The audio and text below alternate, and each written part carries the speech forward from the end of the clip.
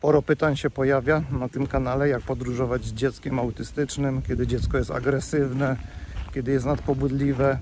No ja Wam teraz pokazuję podróże z 15-letnim, nastoletnim autystykiem, kiedy on już y, sam uwielbia podróżować, sam załapał tego bakcyla, jest już wysoko funkcjonującym autystykiem, więc już jest dużo prościej niż to było. Natomiast y, no nie zawsze tak było, było ciężko, ale, ale jeździliśmy od samego początku, bo uważamy, że przyroda, natura ma na niego zbawienny wpływ. Dlatego staram się Wam też pokazywać w filmach i będę pokazywać takie miejsca przyjazne autystykom. No widzicie, tutaj jest na przykład gusza, dżungla, gusza, cisza, nie ma tutaj praktycznie nikogo. Yy, Wasze dzieciaki mogą się tutaj wyszaleć, mieć kontakt z naturą, nikomu tu nie przeszkadzają, nikt nie będzie Wam przeszkadzał. Czy po prostu jakieś mniej zatłoczone plaże, no takie rzeczy bym polecał, jakieś łąki, jeziora, lasy.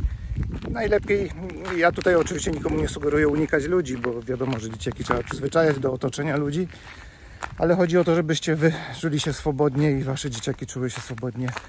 To dlatego ja bym na początek polecał jakieś takie cichsze miejsca. Zobaczcie, jak tutaj jest spokojnie, cicho i jak pięknie przede wszystkim. A że jest to kanał o autyzmie i generalnie pokazujemy tutaj podróże przez świat. I nie tylko przez świat, podróże przez życie również z autyzmem, yy, bo taką ostateczną formę przybrał ten kanał. Także pokazuję, gdzie zabieram mojego syna, pokazuję Wam świat ten, który jemu pokazuje. Wytrwajcie na tym kanale, jeśli chcecie dowiedzieć się coś o autyzmie więcej oraz o podróżach po świecie generalnie. Zgubiliście się w dżungli?